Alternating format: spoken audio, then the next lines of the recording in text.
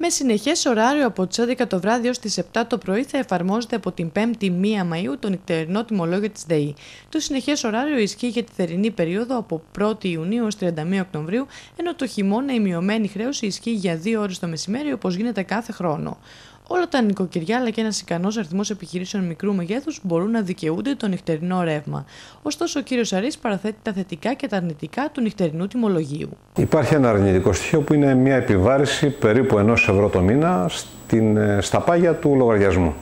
Επομένως, ο κάθε πελάτης ε, της ΔΕΗ θα πρέπει για να αντισταθμίσει αυτό το 1 ευρώ ένα μήνα να μπορεί να καταναλώσει κάποιες, ένα ικανό αριθμό κιλοβατόρων στην μειωμένη χρήση, στη χρήση δηλαδή, του μειωμένου τιμολογίου. Για το διάστημα από 1 Μαΐου έως 31 Οκτωβρίου, ε, η περίοδος μειωμένης χρέωσης του νυχτερινού τιμολογίου είναι από τις 11 ε, το βράδυ μέχρι τις 7 το πρωί. Μέχρι σήμερα από τις 1 Νοεμβρίου, μέχρι τις 30 Απριλίου δηλαδή, η περίοδος μειωμένης ζήτησης, μειωμένης χρέωσης της κιλοβατόρας είναι 3 με 5 το μεσημέρι και 2 το βράδυ μέχρι τις 8 το πρωί. Επομένως θα πρέπει κανείς από τις 11 το βράδυ τώρα μέχρι τις 7 το πρωί να έχει κάποιον ικανό αριθμό κιλοβατορών, θερμοσύφωνο παράδειγμα, θερμας δεν υπάρχει τώρα έτσι κι αλλιώς, ηλεκτρικό σίδερο, κάποιες καταναλώσεις, ούτως ώστε να αντισταθμίσει αυτό το 1 ευρώ τον μήνα πάγιο επιπλέον. Παράλληλα, ο κύριος Αρή επισημαίνει ότι η ένταξη στο νυχτερινό τιμολόγιο είναι μια πολύ απλή διαδικασία, αλλά και το κόστος αυτής πολύ μικρό. Υποβάλλει πρώτα μια αίτηση.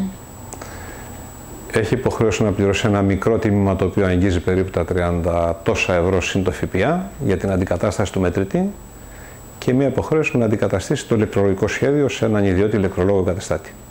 Είναι δηλαδή μια πολύ απλή διαδικασία. Το σχέδιο το ηλεκτρολογικό επιβάλλεται να διαφοροποιηθεί, να προσκομίσει ο πελάτης δηλαδή καινούριο σχέδιο δεδομένου ότι διαφοροποιεί την εσωτερική εγκατάσταση. Πρέπει να μπει ένας νέος πρόσθετος αγωγός. Διαφοροποιείται η εγκατάσταση, άρα το σχέδιο πρέπει να το προσκομίσει. Αυτό όμως είναι υποχρέωση συνεργασίας του πελάτη μας με κάποιον ιδιώτη εγκαταστάτη. Άπαξ και προσκομίσει αυτό το σχέδιο και υποβάλει και την αίτηση, πρακτικά θα έλεγα ότι σε μία-δύο μέρες γίνεται αντικατάσταση του μετρητή και από τη στιγμή εκείνη και μετά διαθέτει νυχτερινό τιμολόγιο. Πάντως θα πρέπει να πω σε αυτό το σημείο ότι το μεγάλο όφελος στους πελάτες μας από το νυχτερινό τιμολόγιο το απολαμβάνει κάποιος κυρίως τους χειμερινού μήνες.